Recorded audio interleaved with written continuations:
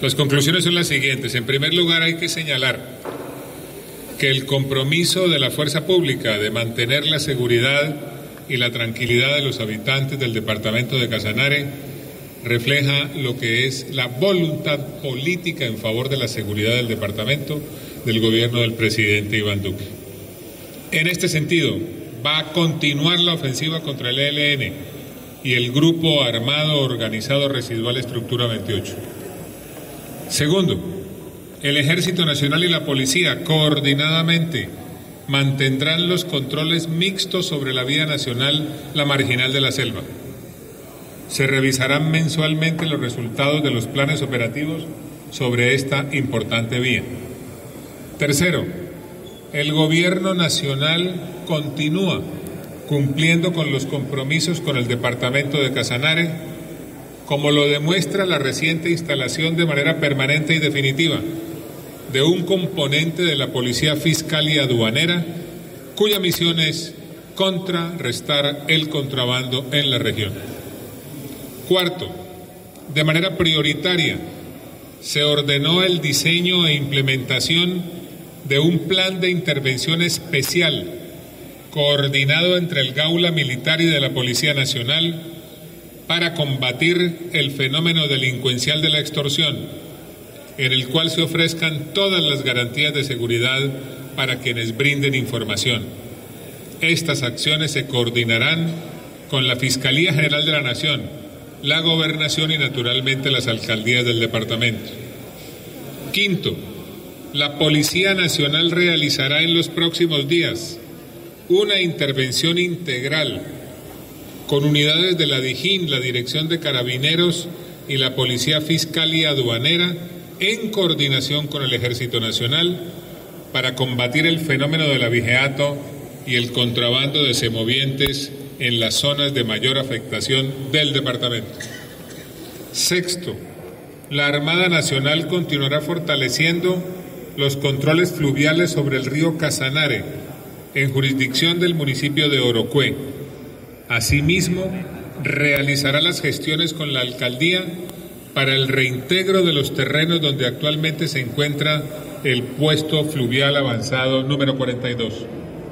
Séptimo, el Ejército Nacional realizará las coordinaciones con las alcaldías de Orocue, Salinas, Sácama, Sabana Larga y Ato Corozal para fortalecer la seguridad y presencia en los citados municipios.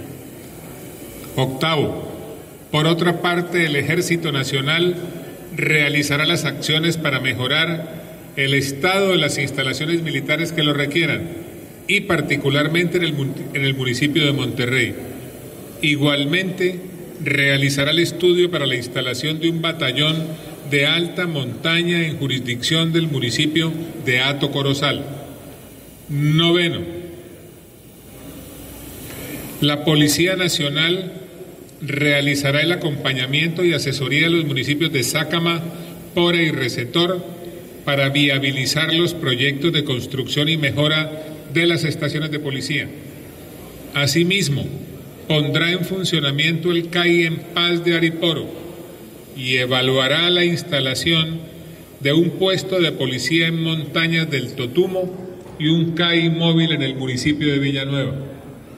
Décimo, la Policía Nacional pone a disposición de la Alcaldía de Yopal a un equipo de la Oficina de Telemática para asesorar y orientar la estructuración del proyecto de cámaras de vigilancia y el Centro de Comando y Control. Asimismo, en ocho días traerá una comisión del nivel central para viabilizar el proyecto de construcción del nuevo comando de policía con la alcaldía y la gobernación. Décimo primero, la Policía Nacional revisará el compromiso del Consejo de Seguridad realizado en Paz de Ariporo el día 14 de junio de 2019, relacionado con la distribución y optimización del pie de fuerza para la ciudad de Yopal. La instrucción es dar prioridad a la cobertura de los cuadrantes de policía en la ciudad a partir del apoyo permanente de los tres grupos de la Plana Mayor y las especialidades del departamento. Décimo segundo, La Policía Nacional continuará desarrollando el programa escolarizado para la prevención del consumo de drogas en niños, niñas y adolescentes. El gerente del programa coordinará con las alcaldías y se difundirán sus resultados. Décimo tercero, de igual forma, la Policía Nacional informará a los alcaldes del departamento los resultados operativos contra las diferentes manifestaciones criminales que afectan su municipio.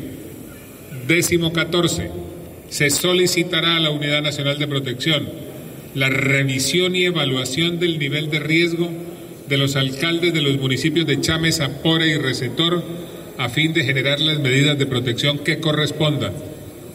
Décimo quinto, el próximo 21 de abril se tiene prevista la visita de la señora ministra de las TIC con el fin de evaluar las necesidades de conectividad y de telecomunicaciones del departamento que contribuyan a la seguridad y bienestar de, los, de las comunidades.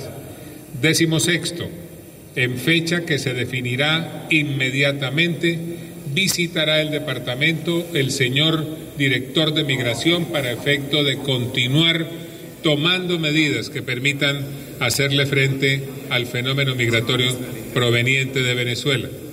Décimo séptimo, para efecto de sacar adelante el proyecto al cual ya se hizo mención relacionado con las cámaras, el próximo 14 de febrero visitará a Yopal el señor viceministro del Interior. Esos son los anuncios que queríamos hacerles. Muchas gracias.